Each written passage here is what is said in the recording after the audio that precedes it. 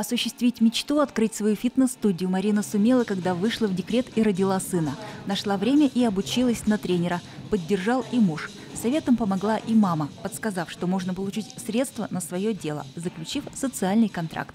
Мы думали, что это будет очень сложно, но нам дали вот, мы пришли, ну буквально через месяц мы это вот все оформили, и как бы никаких сложностей не было. Дали нам 250 тысяч. На выделенное средства Марина закупила спорт-инвентарь и уже в конце августа открыла фитнес-студию. По условиям соцконтракта в течение трех лет нужно непрерывно работать. Но это бизнес-леди не испугало. Соцконтракт, говорит, это хороший старт для предпринимателя. Я вообще считаю, это вообще очень классное дело. Когда я узнала, я вообще прям в шоке была, что у нас государство вот так вот прям поддерживает, потому что, ну, не, не то, что даже ИП открыл, и на обучение, ведь можно и пойти в автошколу и, и а, работу найти. Соцконтракт – это адресная финансовая помощь, на которую могут рассчитывать те, чей доход ниже величины прожиточного минимума.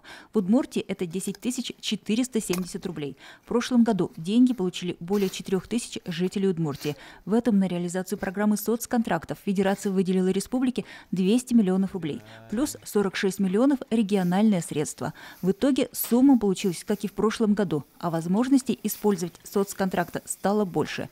Теперь деньги можно взять на развитие личного подсобного хозяйства. В этом году граждане смогут получить э, материальную поддержку э, на такие направления, как поиск работы, э, развитие э, индивидуального предпринимательства, э, ведение личного подсобного хозяйства. Прежде чем э, человек трудоустроится или решит открыть личное дело, или зарегистрируется как самозанятый, он имеет возможность пройти обучение, тоже за счет средств социального контракта. На обучение заявитель получит до 30 тысяч рублей, на развитие личного подсобного хозяйства – до 100 тысяч, на открытие своего дела или на самозанятость выделяется 250 тысяч рублей. По э, направлению трудной жизненной ситуации возможность заключить э, социальный контракт будет максимально на 6 месяцев. Соответственно, и изменится объем единовременной э, выплаты. Теперь он будет составлять не 100 тысяч, как было, а до 65.